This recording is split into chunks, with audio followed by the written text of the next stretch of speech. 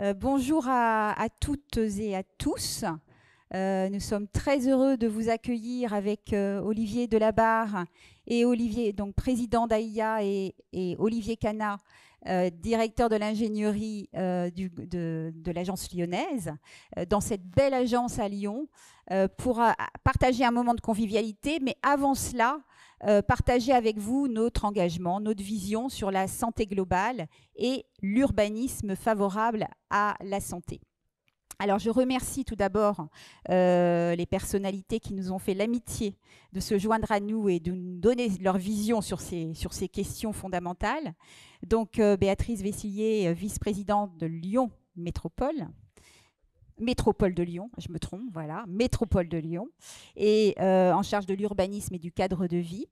Et euh, le professeur Pruvot, président du Comité national d'investissement en santé, mais également vous tous qui avez eu la gentillesse de participer euh, à cette table ronde et à nos échanges. Alors, je, souhaitais euh, excuser euh, euh, mon associé, notre associée Delphine Bégy, qui est directrice de l'agence d'architecture de Lyon, qui, pour des problématiques familiales, a dû rejoindre sa Bretagne natale. Mais on pense bien à elle parce qu'elle avait à cœur d'être avec nous ce soir et, et je sais qu'elle a à cœur que cette soirée soit réussie. Alors, euh, avant de, commencer, de vous donner cette vision, et afin que tout le monde ait le même niveau d'information sur ce que nous sommes, AIA, mais également sur notre vision, euh, Olivier Delabarre va vous présenter euh, en quelques mots le groupe AIA et les travaux sur lesquels nous nous appuyons, les travaux de la Fondation AIA, sur notamment les questions d'urbanisme favorable à la santé. Merci Emmanuel. Donc effectivement, on peut peut-être passer la, slide suivante. Euh, donc le groupe AIA Life Designers est, né il y a une cinquantaine d'années, créé par un, collectif d'architectes et, d'ingénieurs qui avait cette ambition de réunir dans une même structure tous les métiers euh, nécessaire à, au, déploiement d'une maîtrise d'œuvre et nécessaire à l'acte de, construire. Euh, c'est ainsi qu'aujourd'hui, ce groupe rassemble près de, 700 collaborateurs euh, répartis dans, cinq métiers, l'architecture, l'ingénierie, l'environnement, le territoire et le management de, projets. ces collaborateurs sont réunis sur une, petite douzaine de sites et euh, ils portent dans leur euh, ADN euh, le domaine de la santé qui est, le, qui est, le, qui est depuis toujours vraiment le cœur de, métier et cette attention issue de ce, secteur aux pratiques et, aux usages qu'ils prennent en compte dans, dans leurs projets. Alors cette activité est répartie en, en quatre secteurs d'intervention tu veux peut-être en parler, Emmanuel? Alors, comme le disait Olivier, euh, notre histoire vient du domaine de la santé. Donc, on a l'habitude de dire que l'on entre dans la cuisine des médecins, des managers, pour comprendre leurs usages et leurs évolutions. Et que si nous faisons bien notre travail, eh bien, quelque part, nous n'empêchons pas l'évolutivité euh, de ces bâtiments. Donc, on a essayé euh, depuis quelques années de, dupliquer cette approche, puisque vous avez compris que AIA Live, dans AIA Live Designer, le live design, c'est vraiment cette approche sur les usages au cœur de la conception architecturale, technique, environnementale. Euh, on est très atypique, euh, il faut quand même le signaler, même si certaines agences d'architecture ont associé euh, des ingénieurs et inversement, nous restons par notre ADN de base très atypique et nous avons ce qu'on a, l'habitude de dire une organisation à l'anglo-saxonne en embarquant l'ensemble de, de ces métiers. Donc les usages sont au cœur de notre conception et ça vient également, cette légitimité vient également du fait que nous travaillons historiquement dans le secteur de la santé. Au départ privé, puis public. Et tout ça, nous l'avons décliné sur les autres filières. Donc nous avons aujourd'hui quatre filières d'excellence, comme le, comme le disait Olivier. Donc la filière santé bien-être qui vient, qui, est né. Hein, on est né avec cette, filière euh, au sens large, sanitaire, médico-social, neuf, réhabilitation. Vous verrez que le sujet de, la réhabilitation est un sujet qui nous tient particulièrement à cœur dans le cadre de nos engagements euh, dans nos métiers, mais aussi dans nos filières. Et nous avons un certain nombre de grands projets euh, dans ce domaine-là. Je, fais un clin d'œil à l'Hôtel Dieu de Lyon qu'on a eu le, le, plaisir de réhabiliter, sur lequel je pense Olivier reviendra. Une filière enseignement-recherche, donc classiquement collège lycée, enseignement supérieur. Une filière mixité urbaine qui a deux piliers euh, d'excellence, que sont les bureaux et le logement, mais avec une programmation mixte autour de ces, de ces programmations-là. Et puis une filière ville ressources, qui est une grande filière où on loge la thématique de l'environnement, station de traitement déchets, traitement d'eau, usine de dessalement, mais également la mobilité terrestre, donc les grandes lignes. Actuellement, nous sommes en concours, par exemple, et nous suivons un certain nombre de grandes lignes sur le Grand Paris. La mobilité aéroportuaire, même si, euh, je dirais, euh, avec la crise Covid, ça, ça, a sérieusement chuté. Néanmoins, euh, on ne s'arrête pas de vivre ni de voyager, donc on, est sur un certain nombre de grandes extensions. Et puis le foncier les fonciers santé, les fonciers universitaires, les fonciers portuaires en reconversion et euh, en transformation avec en tête euh, de pont nos, métiers d'urbanistes. Alors comment fonctionnent les filières? Je parlais d'usage tout à l'heure. Au niveau des filières, nous avons des animateurs de filières qui sont des architectes et qui travaillent avec l'ensemble des référents de ces filières dans les agences. Qu'est-ce qu'on fait dans une filière? On fait des retours d'expérience pour s'améliorer les plus, les moins, et on fait de l'innovation. L'innovation sur nos usages, sur les usages, comment on soigne demain, comment on enseigne demain, comment on traite les déchets demain. nous sommes des, concepteurs du territoire. Et puis de l'innovation, bien sûr, sur nos métiers, les métiers de construction, des métiers de conception, avec des partenaires. Hein, pas seulement, on ne se regarde pas euh, juste entre nous, architectes ingénieurs, avec des acteurs du numérique, avec des designers, avec des soignants, avec des enseignants. On fait intervenir les usagers dans ces filières. Je cite souvent cet exemple-là. On a co-construit, par exemple, un livre blanc sur les nouvelles formes d'enseignement et l'impact que ça a sur les locaux. On sait bien qu'avec la crise Covid que l'on a vécue, les lieux que nous pratiquons, les bureaux, le logement, euh, les lieux de santé, les lieux d'enseignement euh, doivent avoir un petit peu euh, un autre regard. Voilà ce que l'on fait dans les filières et voilà ce que l'on met à profit aussi bien dans le cadre de nos métiers d'architectes, d'urbanistes, d'ingénieurs, d'acteurs de l'environnement, que dans nos filières. Alors, il y a dix ans, nous avons créé une, fondation dont l'objet est de nourrir une, vision prospective sur les, sur les sujets d'architecture, de, santé et, d'environnement. Euh, cette, cette, fondation donc développe des, travaux de, recherche, organise des, événements autour de ces différentes thématiques. Et dans ce cadre, elle a euh, axé ses, travaux sur euh, deux axes principaux. Tout, d'abord, euh, l'urbanisme favorable à, la santé. Euh, il faut savoir que 70% des, déterminants de, santé, en fait, sont, sont, liés à notre environnement, notre environnement euh, physique, notre environnement socio-économique dans lequel nous, vivons. C'est dire si euh, la ville que, nous bâtissons, les, bâtiments que nous construisons, euh, ont un rôle majeur dans le déploiement de, cette, santé. Et le deuxième axe, euh, c'est celle de la ville de, tous les âges. Et ça, c'est une façon d'aborder une, forme de, vulnérabilité. nous savons aujourd'hui que la démographie évolue, que nous assistons à un vieillissement de la population et que ce phénomène, bien sûr, va va conditionner euh, notre société, notre façon de, l'organiser et que cela aura, des, répercussions euh, sur, euh, sur, la construction des, des villes. C'est une réflexion donc sur les parcours depuis l'enfance à travers le, logement jusqu'aux établissements de, de, prise en charge à des niveaux de dépendance variés. Et donc comment construire euh, ces différents parcours, réfléchir à ce sujet avec les partenaires publics, les partenaires privés? C'est un sujet donc auquel nous nous intéressons et nous sommes assistés dans, ce cadre par le, professeur Beru, qui est euh, président du Gérontopole des Pays de Loire, euh, qui est membre de notre de fondation, avec lequel nous envisageons de, monter prochainement une, chaire universitaire pour développer ce, sujet. Alors, bien sûr, on pourrait dire beaucoup de, choses sur, tout cela.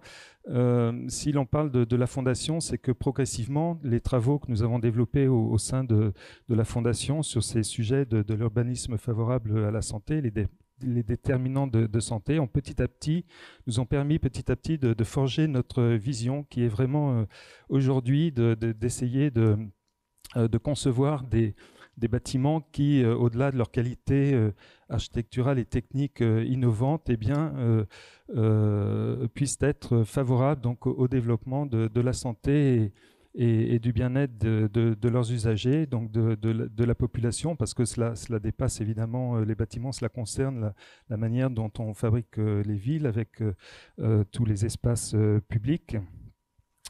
Et que cette vision aujourd'hui, elle se décline en, quatre engagements que, nous, avons affichés de manière un petit peu pragmatique. Euh, le premier d'entre eux étant de suivre la, trajectoire euh, carbone globale du groupe pour respecter les accords de Paris. ça, c'est un engagement de réduire notre empreinte carbone euh, de 30% sur, sur 10 ans. On a mis en place des instruments de mesure d'ailleurs qui nous permettent d'identifier le fait qu'on est un petit peu aujourd'hui en dessous de nos engagements, donc il va falloir passer un braquet supérieur. Le deuxième engagement, c'est celui de promouvoir une architecture favorable à la santé sur tous nos projets. Eh c'est ce dont on parlait. Euh, le troisième engagement, c'est de faire de, l'environnement une clé d'entrée de, tous nos projets, donc de faire en sorte que tous nos projets identifient euh, des positions claires euh, favorables à l'environnement. et le quatrième engagement, qui est de répondre aux enjeux d'adaptation, aux, dérèglements climatiques et aux situations de crise. Alors bien sûr, ce sont des termes très euh, génériques, euh, mais euh, derrière cela, on a mis en place un, référentiel qui nous permet donc sur ces trois axes de l'architecture, de la santé, de l'environnement, de développer des éléments concrets pour aller dans le sens de ces engagements. Voilà. Je euh, on avait un petit, un petit mot en, conclusion de cette introduction. Euh, donc, euh, pour, vous, pour, pour, que ce soit clair pour tout le monde, on loge la recherche fondamentale dans la Fondation AIA et la recherche appliquée dans le cadre de nos filières, dans le cadre du groupe. Et par ailleurs, nous sommes très investis, je le porte sur moi, mais il y a des pins par ailleurs, nous sommes très investis dans différents réseaux, dans différents cercles de réflexion qui nous font faire un petit peu un pas de côté par rapport à nos... Vous avez compris qu'AIA Live Designer est une agence engagée euh, dans tous les domaines. Euh, donc nous sommes membres fondateurs de French Care. Vous connaissez les autres coques. C'est voilà, c'est le coq blanc, c'est le care, le prendre soin. Euh, vous allez dire qu'est-ce que fait une agence d'architecture avec French Care? Eh bien, nous faisons justement le lien. On parlait tout à l'heure de notion de parcours, parcours de vie, parcours ville-hôpital, parcours étudiant. C'est comment on peut co-construire avec des acteurs qui habituellement fonctionnent en silo. Donc ça, ça nous intéresse dans le cadre de, de, French Care et c'est important de, vous le dire puisque derrière French Care, c'est bien sûr la BPI et c'est l'innovation, donc l'innovation dans le numérique, l'innovation dans la santé globale. Donc on est très très très attaché à à à cet engagement-là. Euh, je fais un clin d'œil également et, pour ceux qui le pourront euh, du 1er au 3 décembre à, Rachel Baucher ici présente euh, qui est la grande qui orchestre un colloque international sur ville et santé mentale, avec un certain nombre de, grands acteurs qui viendront à Nantes, à la Cité des Congrès, à ce moment-là, et qui pourront témoigner sous forme de diagnostic de ce qui se fait en termes de parcours de santé globale à l'échelle de certaines grandes villes. Donc je vous invite à, à Nantes, si vous le pouvez, du 1er au 3 décembre sachant que ce colloque a pour objectif, si je ne me trompe, Rachel, de devenir une biennale. Et euh, nous avons eu, dans le cadre de la Fondation AIA, euh, eu l'occasion de pouvoir témoigner de nos travaux dans le cadre de la Biennale d'architecture de Venise, dont le thème prémonitoire avant Covid était comment vivrons-nous ensemble demain? Donc, euh, un certain nombre de médecins, dont euh, le docteur Rachel Baucher, sont intervenus, dont le professeur Daniel Nizri également, qui est le président de la Ligue contre le cancer, euh, sont intervenus pour faire un film qui s'appelait La santé au chevet de la ville, d'où l'exposition à la biennale. Et puis le troisième temps sur lequel, pour certains, si vous le pouvez, je vous propose de nous rejoindre, c'est le 19 octobre à l'agence AIA de Paris. Nous sommes partenaires d'une chaire qui s'appelle Archid, Architecture, Santé, Design, fondée par la PHP, l'Université de Paris, l'école de design Camando euh, et l'école d'architecture Paris-Val-de-Seine. Je parlais de restructuration, de reconversion. Nous sommes sur l'habitabilité, la reconversion des grands immobiliers de santé. On en parlait tout à l'heure. Qu'est-ce qu'ils deviendront? Tantôt, ils seront des établissements de santé à nouveau. Tantôt, ils seront des projets mixtes. Donc, dans le parcours de santé globale, dans le parcours d'urbanisme favorable à la santé, c'est un travail de recherche auquel nous, nous tenons beaucoup. Je passe la parole du coup à Olivier Cana.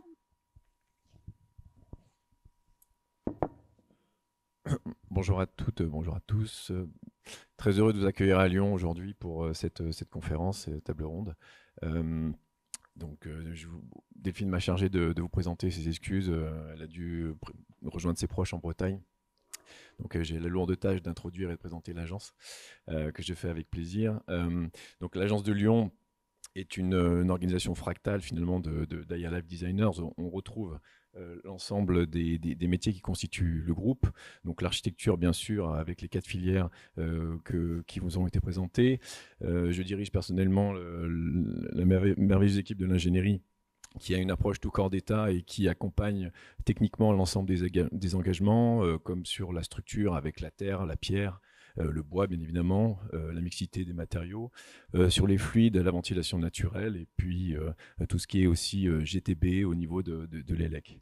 Alice Dongui, qui dirige Aya Environnement, va prendre la parole tout à l'heure. James Tinan, qui dirige Aya Territoire. Mohamed Chetibi qui dirige Aya Management, donc tout ce qui est MOX et, OPC sur les, différents projets, et François Genodi qui porte l'entité Aya Conseil, qui est une, ingénierie dédiée à l'accompagnement amont des projets euh, pour les clients euh, privés ou, publics. Voilà.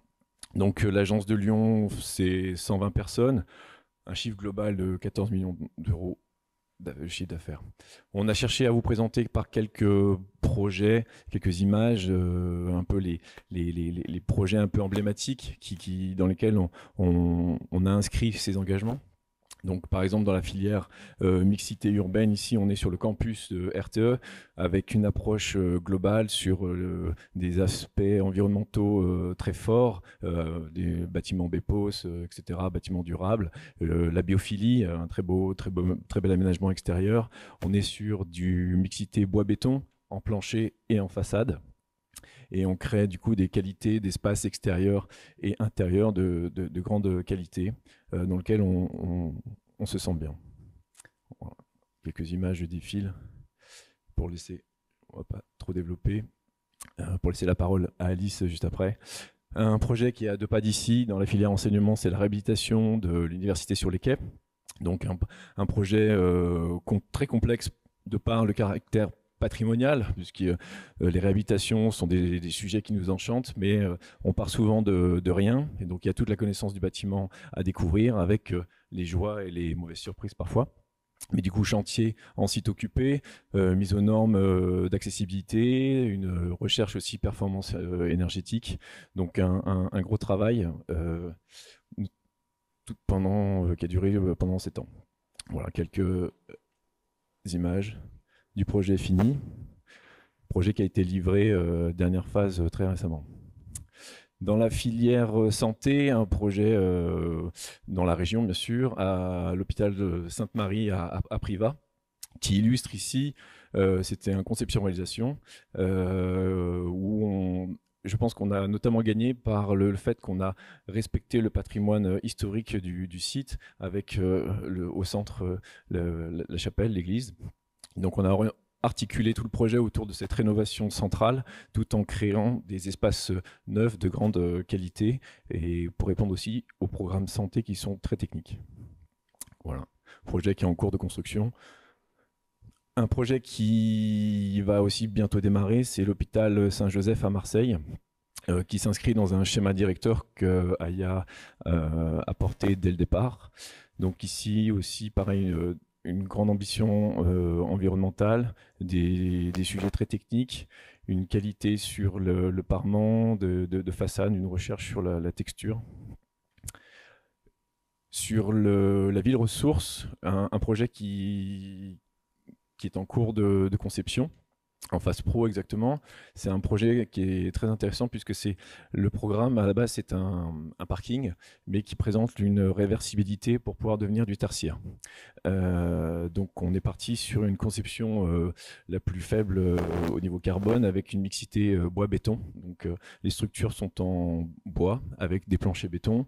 Travail aussi de la, dynamique de la façade se fait par des lames en bois et le programme était particulier puisqu'on doit intégrer euh, une Fab Lab, euh, une chaufferie et, des salles d'enseignement aussi pour euh, l'Université de Savoie. On a développé dans ce projet aussi un, projet de, recherche et d'innovation qui s'appelle Voltaire. Volt Air, mais Air pour l'air comprimé. et vous voyez le, petit véhicule qui est ici, en fait, euh, est alimenté par l'air comprimé, euh, air comprimé qu'on retrouve dans le bâtiment pour en fait faire du stockage d'énergie et faire du chaud ou du froid en fonction des besoins. Et l'électricité produite pour alimenter cette machine est, faite à partir de panneaux photovoltaïques euh, disposés en toiture. Voilà, donc on a le, comment dire, la ZAC porte l'innovation très loin et on était heureux de pouvoir remporter ce projet justement pour développer toute cette ambition quelques images. Voilà. Merci. Je laisse la parole à Alice. Merci beaucoup.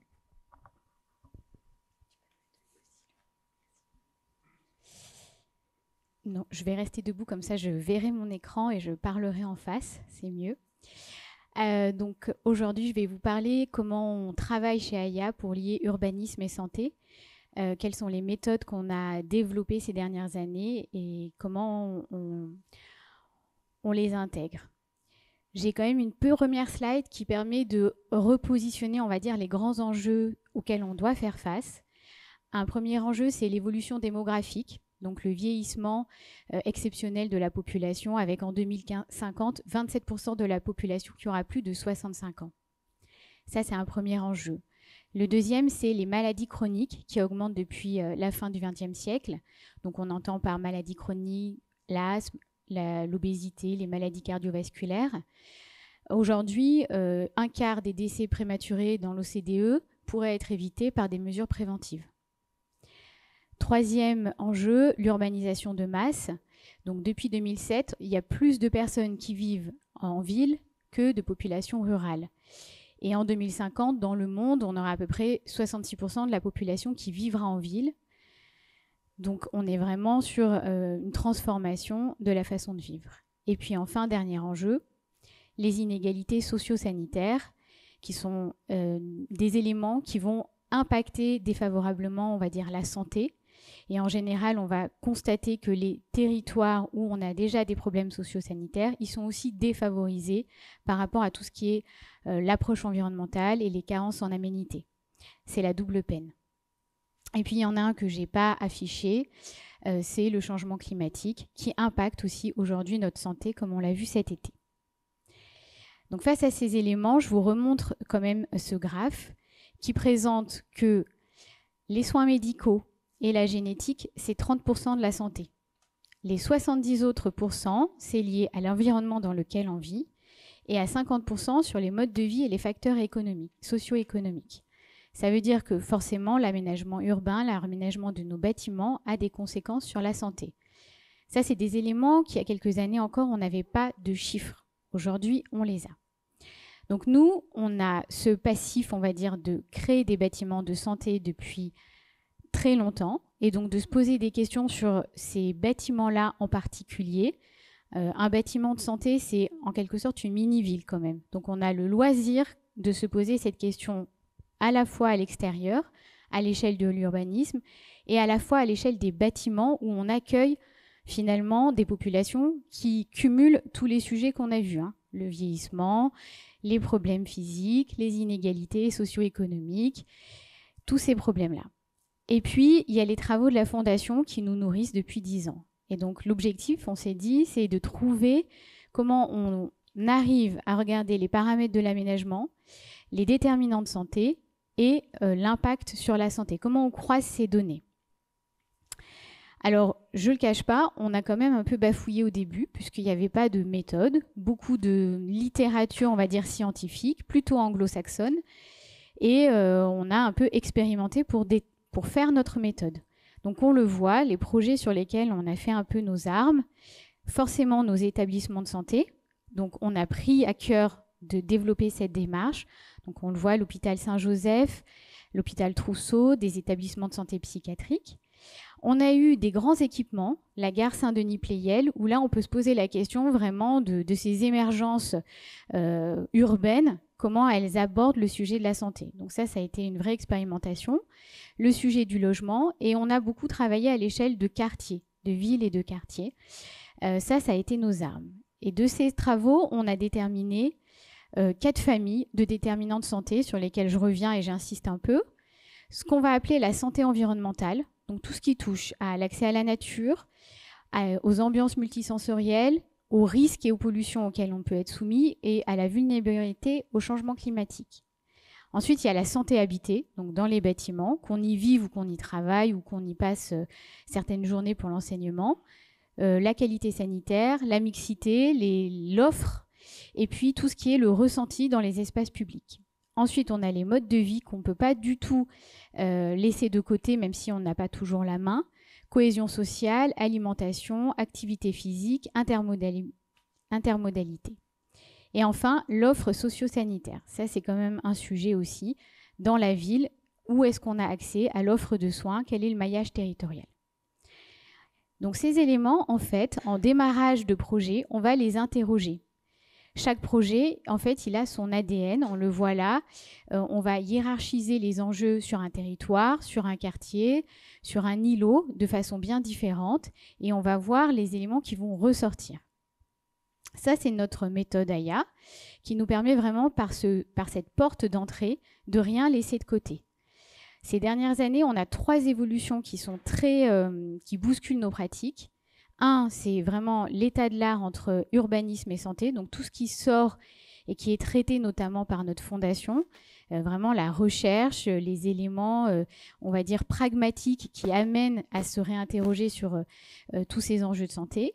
Ensuite, tout ce qui est en open data, donc toute la matière qu'on doit pouvoir traiter et qui nous amène à faire ces diagnostics, et les modélisations enfin numériques.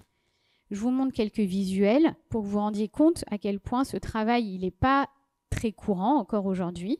C'est un travail de traitement de données, de traitement graphique pour arriver à positionner. Donc, euh, on va on va d'une échelle assez large pour zoomer et arriver à déterminer justement euh, les, points saillants. Donc là, on le voit, on va regarder la marchabilité, euh, le niveau socio-économique, l'accès à la végétation, l'accès aux soins, les nuisances acoustiques, mais aussi tout ce qui est les ensoleillements, les nuisances la, qualité de l'air. Donc, bien sûr, le périmètre, on le définit à chaque projet. Hein. on n'a pas toujours le même prisme, mais ces entrants, on les, on les intègre à présent dans nos projets. L'objectif, c'est que les facteurs de crise, ils existent. On doit y faire face. On doit essayer, dans la mesure du possible, de les résorber. Donc là, il y a une liste, mais elle pourrait être bien sûr beaucoup plus longue. Et l'objectif, c'est de s'interroger sur comment on va amener de nouveaux vecteurs de prévention et d'épanouissement. À cela, bien sûr, on a en quelque sorte passé la phase de diagnostic, on doit passer à la phase pratique, la conception. Donc nous, on, travaille, je dirais, avec un certain nombre de designs euh, qui nous permettent justement de nous, de nous axer sur ces sujets en fonction des états, des lieux qu'on a pu faire. Donc on a ce qu'on appelle le design des ambiances ou l'architecture des invisibles. C'est un joli mot pour dire tout ce qu'on ne traitait pas peut-être auparavant, euh, les conforts en milieu urbain, euh, le, on va dire le design sensoriel, le, bien-être dans tous ces espaces en fait qu'on laissait très fonctionnels. On a le design adaptatif, donc ça c'est vraiment les sujets de la trame climatique qui aujourd'hui euh, sont centraux mais qu'on connaissait finalement peu il y a encore quelques années. Le corps en mouvement, c'est le design actif. Comment faire bouger les gens justement pour diminuer ce risque euh, de mortalité, euh, on va dire, anticipé, alors que si les gens bougeaient plus, ils iraient mieux? Le design inclusif, donc c'est la santé habitée. Euh, finalement, c'est habiter ou aussi partager sur les espaces publics. Hein, le design inclusif, c'est pas seulement pour les personnes à mobilité réduite. Aujourd'hui, on parle de l'accès à la petite enfance, des familles, des poussettes, enfin tous ces sujets qu'on ne regardait pas. Ensuite, l'offre de soins, ou comment on se positionne. Et enfin, le design tactique, c'est comment on peut faire partager, faire participer les habitants à cette appropriation. On va essayer d'être euh, rapide sur les exemples euh, pour justement illustrer ces éléments. Ça, c'est un projet sur lequel on a travaillé sur la qualité de l'air. Donc ça, c'est assez atypique. C'est des projets qui sont assez rares, qu'on a fait avec l'ADEME et avec un spécialiste en modélisation qualité de l'air, ou comment la morphologie urbaine, elle peut être retravaillée par rapport à ces fameux diagnostics. Donc là, on a ciblé un sujet hein, très clairement. Néanmoins, on a fait un état des lieux par rapport à un premier schéma d'aménagement qu'on a finalement modifié par rapport à ces études de qualité urbaine et à la, on va dire, à la, comment la qualité de l'air était influencée par cette morphologie. C'est vraiment un travail très intéressant, très poussé. Et on le voit, si on ne l'avait pas fait, on aurait accru, on va dire, euh, ben, des sources de nuisances pour une population certainement déjà défavorisée puisqu'elle habite à côté de l'autoroute. Je te laisse la parole, euh, Léonard. Merci et bonsoir. Euh, je remplace Madame Marie Chabrol qui n'a pas pu être avec nous ce soir et elle m'a chargé d'illustrer euh, l'urbanisme favorable à la santé à travers quelques projets que Aya a pu réaliser. Donc ici, c'est le schéma directeur de l'Institut Pasteur à Paris. Et du coup, en fait, on a fait une étude d'îlot de chaleur urbain qui a permis d'étudier l'impact de notre conception sur la température ressentie au niveau du sol. Et du coup, on voit que euh, euh, notre design a, un impact, et c'est ce qu'on a appelé révéler les, invisibles. Euh, on travaille également à travers nos filières santé et bien-être un atelier grand âge qui vise à, repenser l'EHPAD de demain. Donc on le sait aujourd'hui, le grisement de la population est un enjeu fort et on doit se poser la question de la réintégration des EHPAD dans nos villes et au cœur de nos villes. Et enfin, un projet de, à Grenoble qui nous a demandé d'être assistant à maîtrise d'ouvrage pour le développement d'un urbanisme favorable à la santé, sur lequel on a étudié en fait l'offre de soins euh, parmi voilà plusieurs euh, critères, euh, autres critères, et qui nous permet comme ça de, révéler une offre de soins dans un secteur en particulier. Donc on voit là ici le cœur de Grenoble, et à l'inverse la ZAC Presqu'île qui vient d'être terminée récemment. Et euh, malgré que ce projet soit tout neuf, on voit la, pauvreté en fait euh, de l'offre de soins.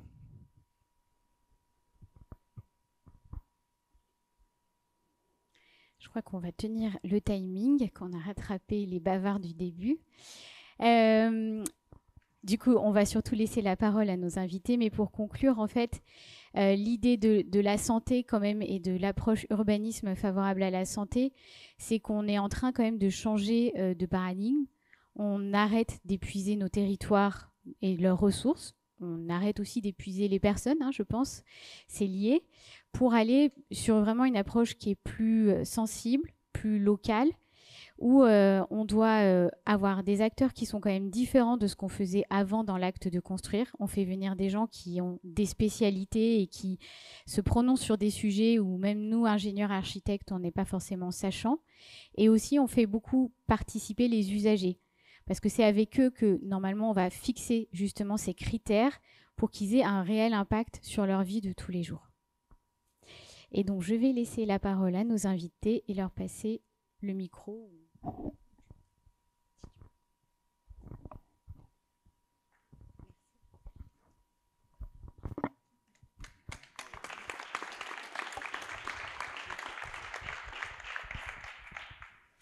Alors, quelques réactions par rapport à ces, présentations. Donc, euh, Béatrice Vessillier, vous êtes euh, élue, euh, vice-présidente de la métropole. Que vous inspire cette approche sur la santé globale et l'urbanisme favorable à la santé et quelque part comment au niveau de la métropole vous abordez ce triptyque urbanisme, santé, environnement dans son approche globale et à la fois si vous pouvez nous donner quelques exemples concrets euh, que la métropole euh, interroge sur ces sujets. Bonjour euh, à toutes et tous, merci de, de votre invitation. Euh, alors, c'est vrai que ce terme d'urbanisme favorable à la santé, il est assez récent et je, trouve très intéressant vos présentations, y compris euh, de quantifier un petit peu les déterminants euh, de santé, où effectivement on voit que notre patrimoine génétique et la question du soin, c'est finalement assez peu significatif, même si c'est important, au regard des déterminants environnementaux et des, conditions socio-économiques de vie. Donc forcément, quand on fabrique la ville ou quand on gère la ville, ces deux catégories de déterminants, enfin même l'offre de le soin est importante, mais j'en parlerai un peu moins. Mais en tout cas, la ville qu'on propose en termes de, qualité de, de, vivre en ville, elle est forcément très importante. Et on voit bien qu'on a, on sait bien qu'on a des inégalités environnementales très importantes dans notre métropole, comme dans beaucoup de métropoles, vous l'avez un peu évoqué. Et, donc, euh, un des enjeux, euh, euh, quand on prend cette question de l'urbanisme favorable à la santé, même si on ne l'appelle pas toujours comme ça, n'empêche que nos objectifs de réduire les, les inégalités d'exposition à un certain nombre de nuisances que sont le bruit, la pollution de l'air, voire la pollution des sols, voilà, notamment.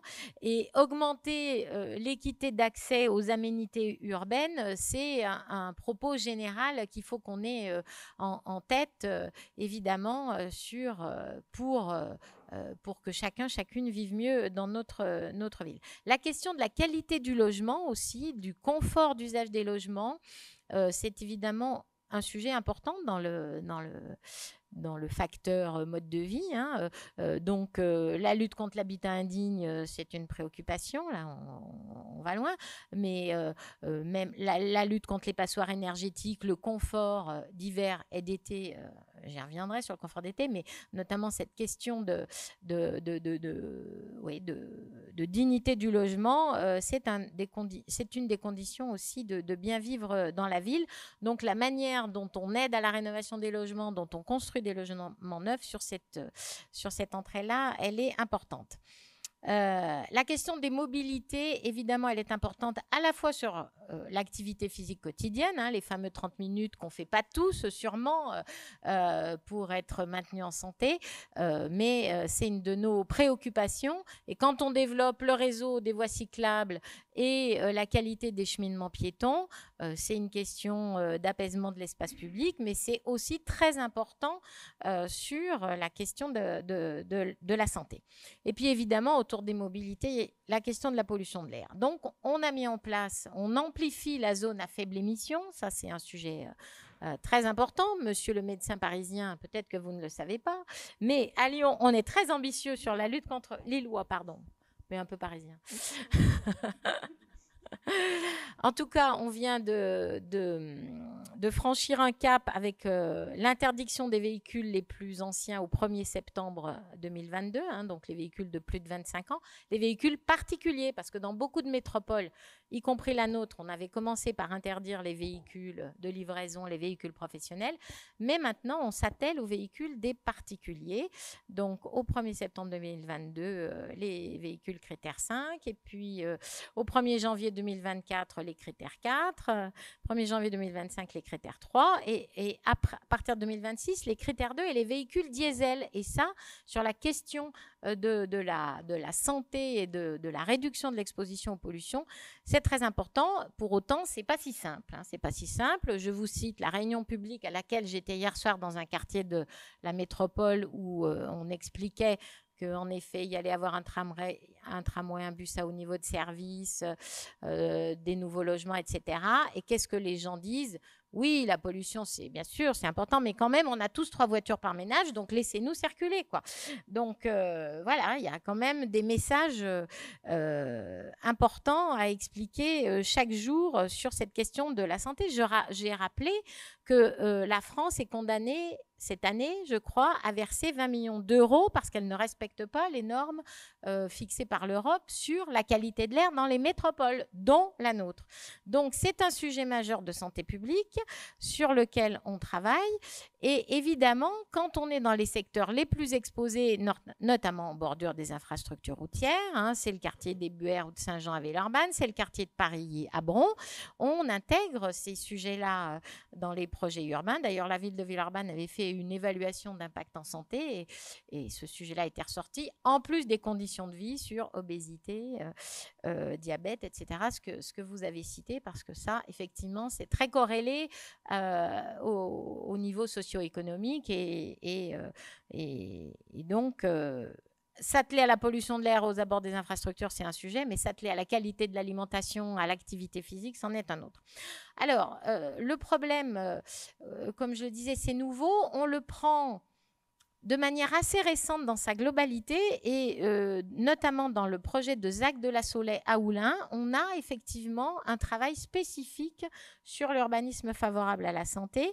Euh, on va faire une ZAC de plus de 800 logements, mais à côté d'un quartier existant et le diagnostic a consisté à regarder les questions de santé sur les habitants actuels parce qu'un des enjeux, évidemment, ça va être de réussir l'accroche du nouveau quartier avec le quartier ancien, mais aussi d'essayer de répondre à, cette, euh, à ce diagnostic qui montre que les habitants de ce quartier-là sont plutôt euh, trois fois plus pauvres que la moyenne de la commune ou de la métropole, sont plutôt ont plus d'affection longue durée, 21% hein, euh, de personnes atteintes d'affection longue durée, alors que c'est plutôt 16% sur la commune. Euh, l'accès à l'offre de soins, l'accès aux mobilités actives, ces, toutes ces questions-là, à la qualité du logement, aux espaces de nature. C'est un quartier qui est très peu végétalisé, où on a des îlots de chaleur. Donc toutes ces questions-là, elles sont euh, identifiées dans un diagnostic et dans notre projet urbain euh, grand territoire, on essayera euh, d'y répondre. Alors, pour prendre euh, quelques exemples et en rebondissant sur ce que vous avez dit, la question du réchauffement climatique. Je pense que là où on en est tous aujourd'hui, c'est un enjeu majeur de comment on fait la ville euh, dès aujourd'hui et pour aujourd'hui et demain. Euh, bien sûr, on l'a tous vécu cet été, mais j'entendais l'autre jour un géographe dire que l'été 2022, c'était peut-être le plus frais de ceux qu'on va connaître dans les 20 ans qui viennent. Bon, c'est dit.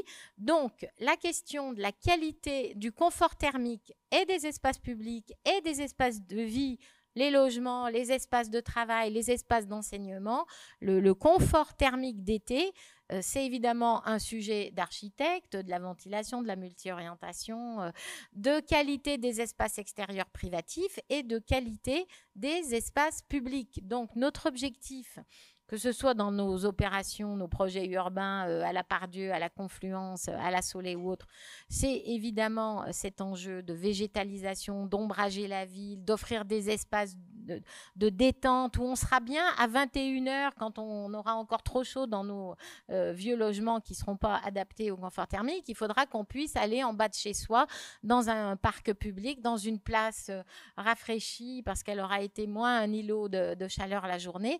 Donc ça, c'est des sujets dans les projets urbains, les grands projets urbains, mais aussi dans le reste de la ville. Quand on projette de, de requalifier la rive droite du Rhône euh, à Lyon, hein, entre le tunnel de la Croix-Rousse, euh, Perrache, sur 2 km aujourd'hui, c'est une autoroute urbaine avec 8-10 voies de circulation, qu'on veut en faire un espace de détente, un espace public, un espace d'usage, la proximité du Rhône, le lien au, fleuve, l'épaississement de la presqu'île, on a en tête tous, ces, sujets aussi d'offrir dans un quartier, une presqu'île très minérale, des espaces publics de grande qualité et ça contribuera à la santé.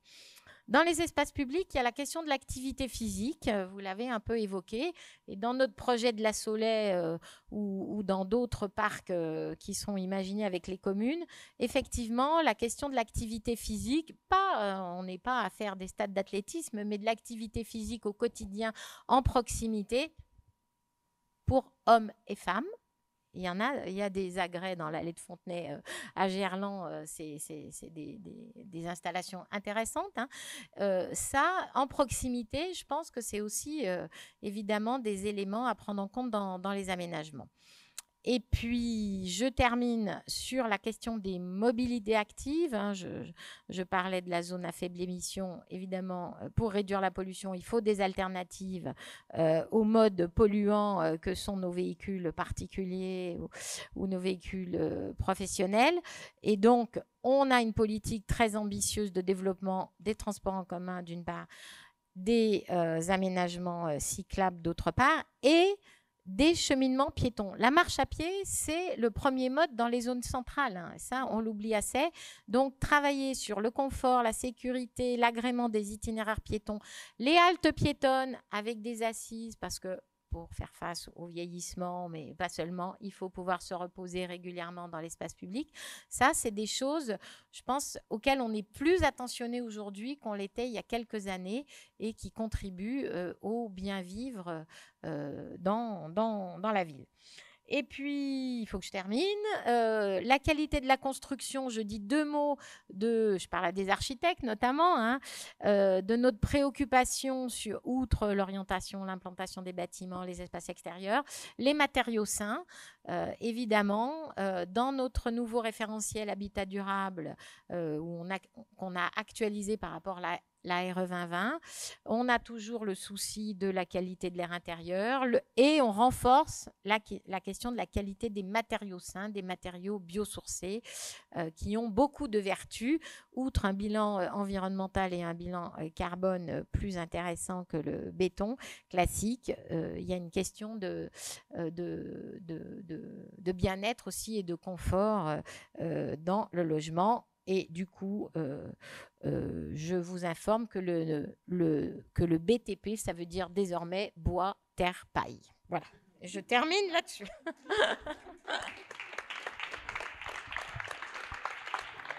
Merci infiniment. Vous avez encore cinq minutes, donc je me permets de vous poser une dernière question. Je suis désolée, je vous quitte. Eh oui, non, non, mais on vous, on vous remercie d'avoir de, d'avoir participé. Euh, penser santé globale, c'est penser santé physique, vous en avez parlé, toutes les incidences, c'est penser santé mentale et c'est penser bien-être. Euh, on raisonne souvent en, silo. Nous, dans nos commandes, euh, c'est tantôt un conseil général, tantôt un conseil régional, tantôt une ville, tantôt voilà.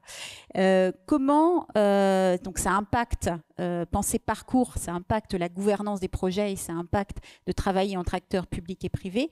il y a un sujet sur lequel on a échangé en aparté tout à l'heure, le parcours étudiant qui est un, sujet sensible euh, après la crise Covid, on l'a vu, et encore maintenant, il y a une vraie problématique de santé mentale chez les étudiants. Comment, au niveau de la métropole, euh, vous abordez ce sujet-là avec euh, cet enjeu de santé globale? Ma dernière question, je vous laisse partir et pas la plus simple parce que euh, on a un vice-président à la santé à la métropole qui serait sans doute plus à même de vous répondre sur euh, cette approche santé mentale, etc. Moi, ce que je peux vous dire, c'est que euh, avec le Covid, on a eu on a eu une, approche sur l'aide contre la précarité alimentaire des étudiants, donc avec un soutien des associations qui faisaient de l'aide à l'alimentation. Après, on a une préoccupation de construire du logement du logement social étudiant. Donc, euh, dans un certain nombre d'opérations euh, publiques d'aménagement euh, en cours et à venir, y compris dans ce quartier-là, tout près d'ici d'ailleurs, là derrière, ou là-devant. On fera du logement social étudiant et ça, la question du logement étudiant à prix abordable, euh, c'est vraiment un sujet pour les étudiants euh, dont on a bien mesuré effectivement les difficultés financières pour un certain nombre d'entre eux. Donc voilà, l'aide à l'alimentation, euh, l'aide au logement. On a mis en place les free, vélo, les free Hein. Ah oui, ça c'est une mesure intéressante financièrement et pour l'activité physique des étudiants. On a l'objectif, enfin on met à disposition des vélos gratuits gratuitement auprès d'étudiants. Ce sont des vélos euh, euh, euh, reconditionnés, réemployés, des vélos de récupération reconditionnés par des emplois d'insertion qu'on donne gratuitement à disposition des étudiants. Notre objectif, c'est 10 000 free vélos. voilà, aujourd'hui, on est à déjà un millier distribués et c'est un grand succès auprès des étudiants parce que la mobilité à vélo, évidemment, c'est bon pour la santé et ça ne coûte pas très cher. Un peu de un pneu de temps en temps à changer. voilà, je, réponds en partie seulement parce que toute la question de la, santé mentale euh, euh, et de la prise en charge de ces questions-là, je, ne suis pas la mieux placée pour vous répondre, désolée. Merci infiniment en tout cas de votre participation et on vous laisse partir. Eh bien écoutez, excusez-moi, mais je suis euh, attendue dans une réunion publique avec des habitants. je ne sais pas si on parlera santé, mais on parlera de choses intéressantes. Bonne soirée à tous et tous. Merci.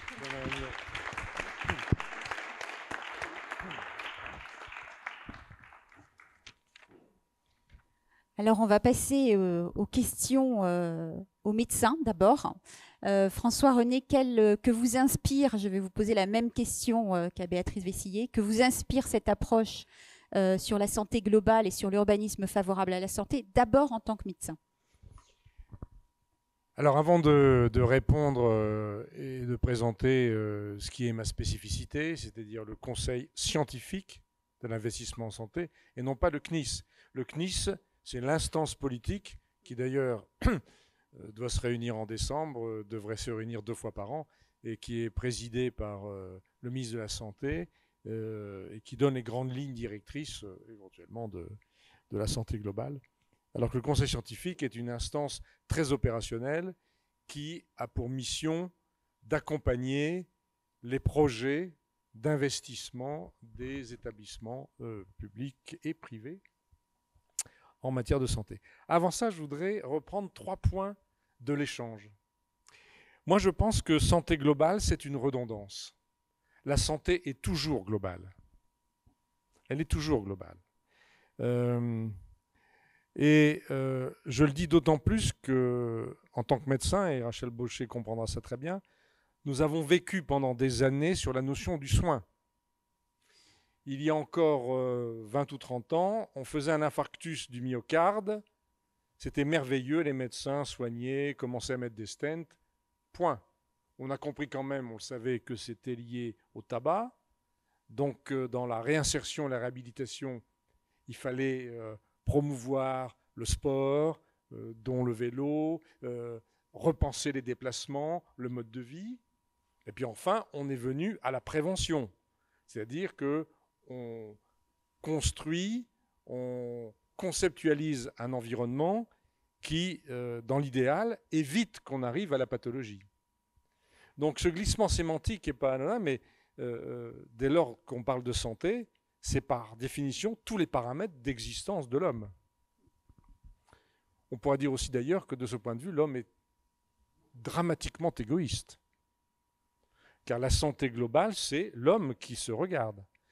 On pourra peut-être un jour s'apercevoir que cet impératif de santé globale s'oppose à certains paramètres de l'environnement.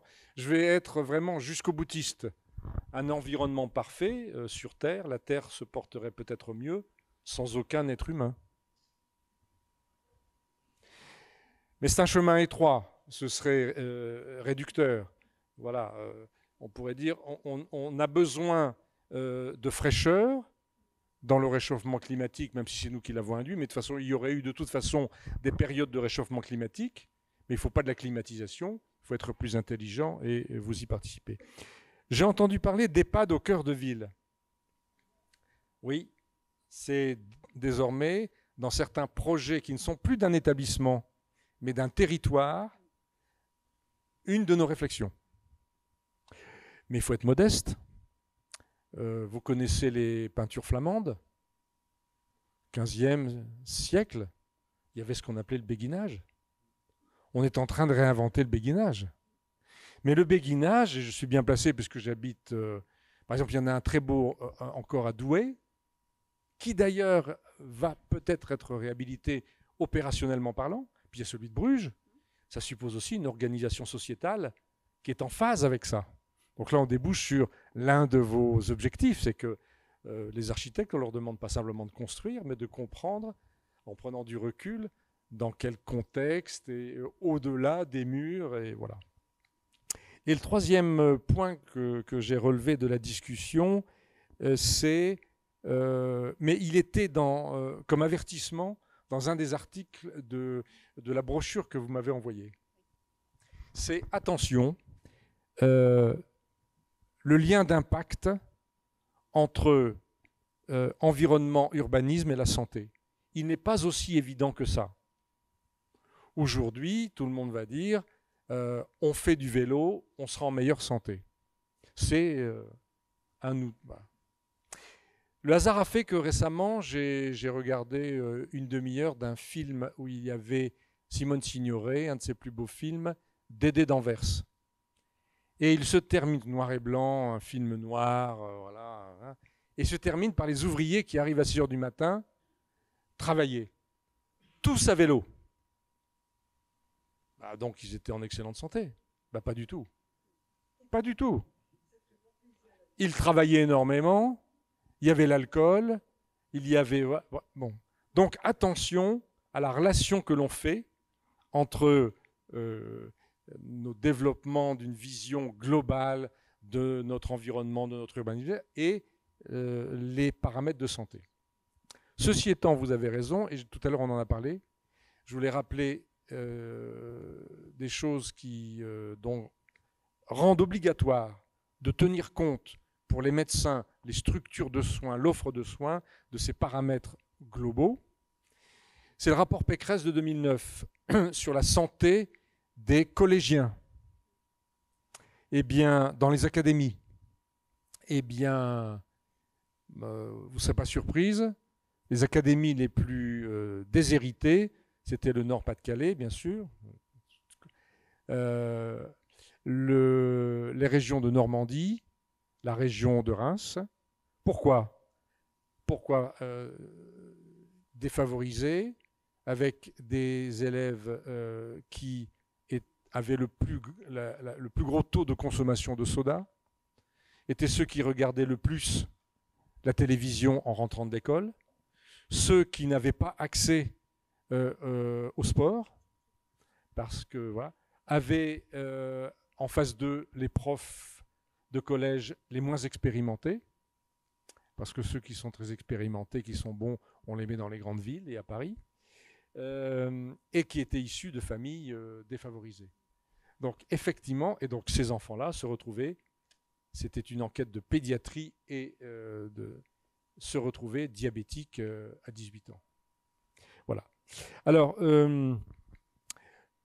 le, je ne sais pas si on va, on va peut-être pas passer les diapositives. Euh, euh, comme disait euh,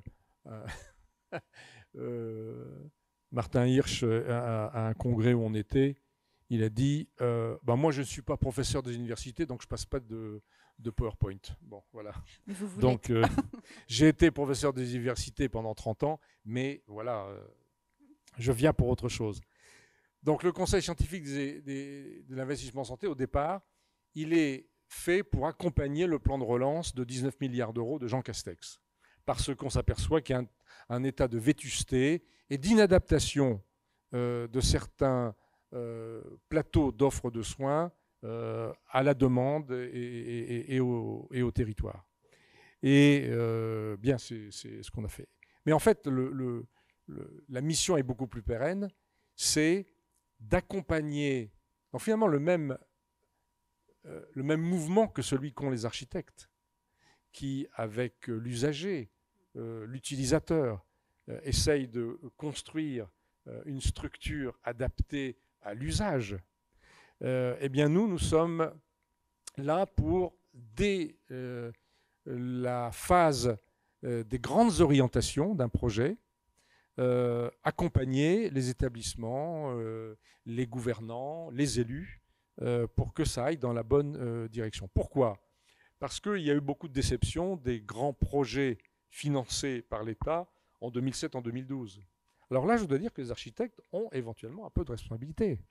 Lorsque on disait on va construire un bel hôpital, voilà.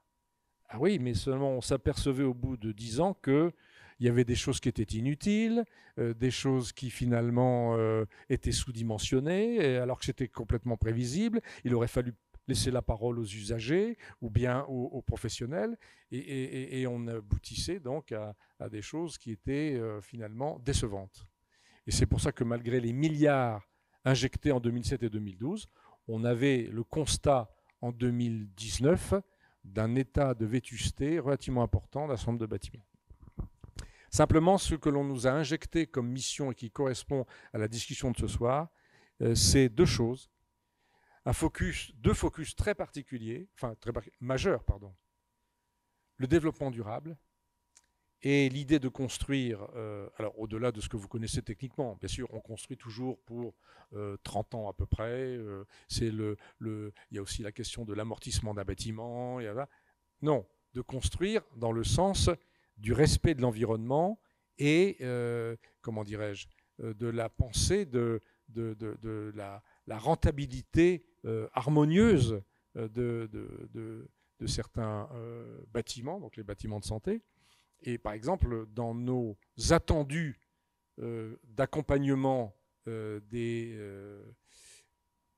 maîtres d'ouvrage, il y a une analyse très rigoureuse de la nature des matériaux utilisés, des constructions, de la manière dont on utilise l'énergie, dont on, on, conçoit les flux et les mobilités, et puis euh, le traitement des déchets.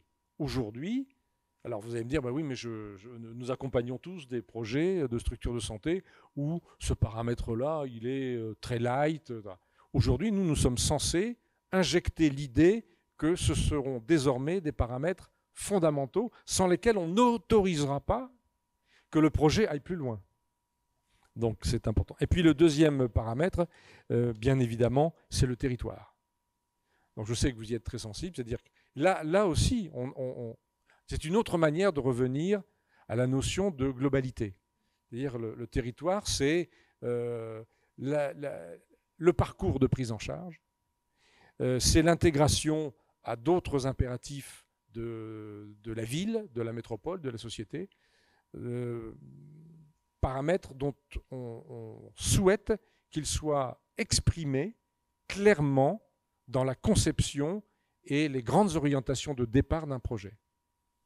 Aujourd'hui, euh, il n'y a plus d'établissements ou de structures, vous avez montré de très beaux bâtiments, qui pourront, de notre point de vue, développer leurs projets sans qu'on ait interviewé ceux qui sont soit leur, euh, euh, en complément de leur action, soit adversaires même ou concurrents de leur action, pour imposer que dans un territoire, il y ait un équilibre. Pour ne pas faire de, doublons d'offres, qui seraient des constructions inutiles, d'éviter des parcours excessifs des usagers, et aussi de penser au bien-être des euh, professionnels qui, y travaillent. Donc voilà, euh, brossé. Euh, comment ça, s'orchestre techniquement? C'est la circulaire de Jean Castex d'avril 2021. Tous les projets de construction de santé au-dessus de 150 millions d'euros doivent passer par la moulinette du Conseil scientifique des investissements en santé, avec une procédure un, peu lourde, mais qu'on essaye d'organiser pour qu'elle se fasse, comme on dit, en temps masqué c'est-à-dire qu'elle ne doit pas gêner le processus naturel euh, d'élaboration des projets tels que vous le connaissez entre maîtrise d'ouvrage, assistance de la maîtrise d'ouvrage, programmiste, architecte, puis constructeur. C'est-à-dire que le travail de surveillance de la structure euh, un peu centralisée de l'État ne doit pas ralentir par des étapes formalisées euh, ce processus naturel de l'élaboration du projet. Alors, on est donc euh, une quarantaine d'experts que je, coordonne dans les champs traditionnels, le champ médico-soignant et de territoire, le champ immobilier et le champ financier. Alors, on parlera peut-être du champ financier, car vous savez que depuis euh, le début de l'année et surtout depuis l'été, je dirais, sans jeu de mots, le climat a changé. Très sérieusement d'ailleurs. Euh, dernière question, parce que nous arrivons à, la, fin de notre table ronde. Euh, on en parlait également en aparté tout à l'heure. Euh, j'ai été frappée dans le cadre des grands projets de santé de territoire de voir, notamment dans les pays nordiques et particulièrement au Danemark, le poids des associations d'usagers euh, au cœur de la programmation, je vois Sophie euh, qui est du groupe ICAD, euh, de la programmation. et quelque part, ce sont vraiment eux, dans, les nouvelles constructions et, et, les aménagements et la mobilité qui va autour, en tout cas dans les priorités donner à ces questions d'urbanisme favorable à la santé avec, euh, des, avec des, bâtiments tantôt d'enseignement, tantôt de santé, le poids euh, des associations d'usagers qui travaillent bien entendu avec les médecins, avec les managers, avec les soignants, mais ce sont eux qui construisent le programme et euh, en fait qui ont fait réellement évoluer les constructions et les usages au cœur des bâtiments, qu'ils soient de santé ou autres. Quel poids, comment le CNIS euh, voit cette, euh, euh, cette association-là des usagers D'un bon oeil, mais avec prudence. je dirais que la France n'est pas les pays scandinaves, où les usagers ont une compétence, un professionnalisme qui leur permet d'être des interlocuteurs très structurés. Ce n'est pas notre cas. Mais ça s'améliore. Alors, à quel moment faire intervenir les usagers? Dans les très gros projets qui sont complexes, très vite, ils peuvent être dépassés. Par contre, vous, le savez, vous ne le savez pas, mais il y a une, ouverture qui est en train de se créer dans le champ médico-social. Premièrement, les objectifs médico-sociaux sont beaucoup plus proches de la population que euh, certains objectifs très techniques des plateaux techniques de soins. Deuxièmement, euh, ce sont des projets plus petits. Euh, tout le monde est concerné tôt ou tard. Et il va peut-être être créé dans le processus d'investissement des structures médico-sociales le droit d'usage. Le droit d'usage, ça veut dire que euh, dans la loi, euh, les impératifs euh, exprimés par donc notamment les personnes vulnérables et par définition surtout les personnes âgées seront prises en compte de manière formalisée dès le départ de la conception des, des structures. Le droit d'usage, c'est quelque chose qui serait nouveau. Merci infiniment. Euh, ben, nous allons conclure euh, cette table ronde et euh, ces présentations et vous inviter à partager le verre de l'amitié à l'issue de ces débats. N'hésitez pas à poursuivre les échanges avec nos invités et avec les personnes d'AIA ici présentes. Je salue, il se fait discret, mais notre directeur général que tout le monde ne connaît pas forcément, qui est au fond et qui anime avec brio ce groupe de 700 collaborateurs. Donc voilà. un, petit, un petit salut à Xavier au fond. Eh bien, venez maintenant euh, prendre le verre de l'amitié.